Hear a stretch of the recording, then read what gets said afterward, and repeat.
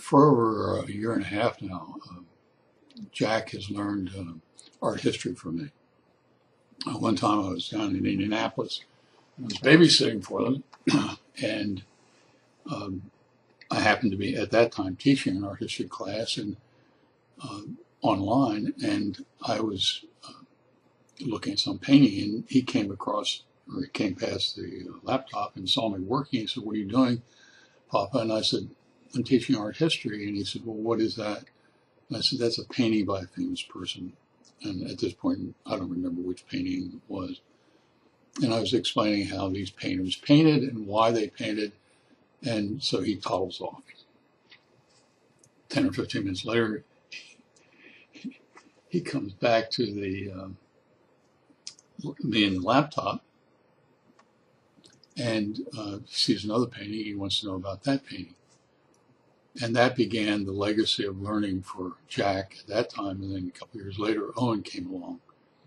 Uh, actually, this is the uh, kind of their textbook that I made for them. And um, this picture of a self-portrait of Van Gogh.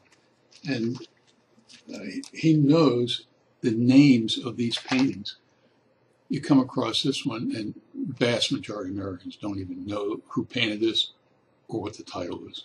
He knows that's Starry Night over, Starry Night over the Rhone, and he knows this one is Starry Night. Um, there's not a child that's four and a half years old in all the United States that knows as much about art history as he does. He he's familiar. I mean, he can he names um, probably two or three dozen different Van Gogh paintings. He knows uh, William Turner, who um, painted a very famous fight called a painting called The Fighting Temeraire. Um, he knows Marc Chagall, I and the Village. I've written about that and The Fighting Temeraire before. Um, Leonardo, uh, Vermeer, Rembrandt, uh, and the list goes on. Uh, uh, it's absolutely amazing to me how excited he is. And then uh, we kind of branched out and included some dinosaurs. And then it dawned on me that we're really not teaching art history as much as the arts and science. Um, And uh, this particular day, uh, we were teaching uh, biology, marine biology 101.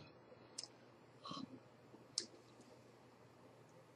and, and you know, trust me, it is absolutely fun to try to help them understand um, what we're, we're dealing with at that particular time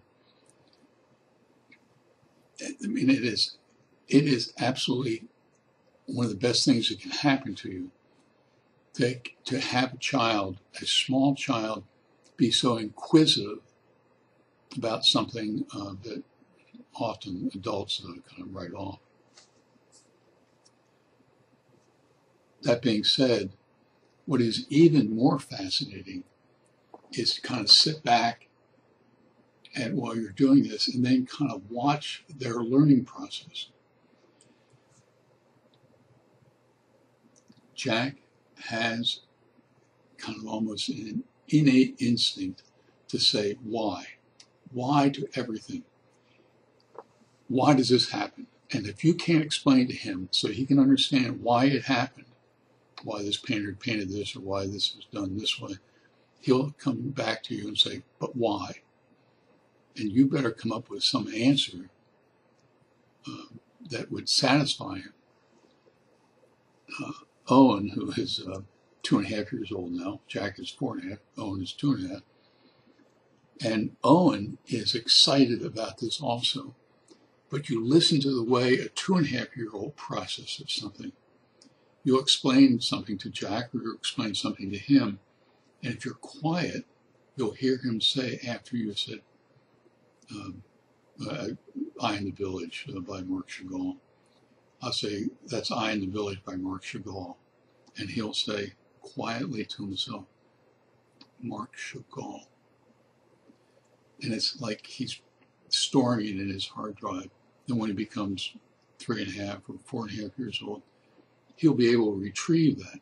It is, it is a fascinating experience. Um,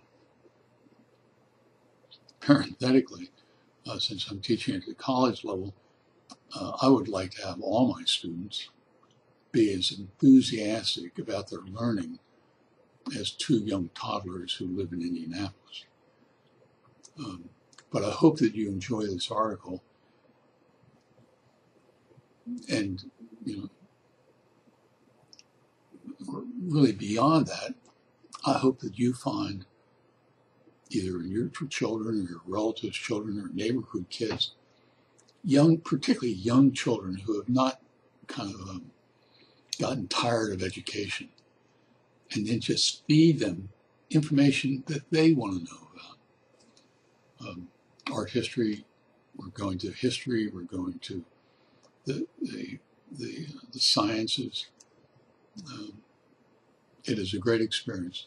Hope you enjoy the article. Thank you very much for reading it, though. Goodbye.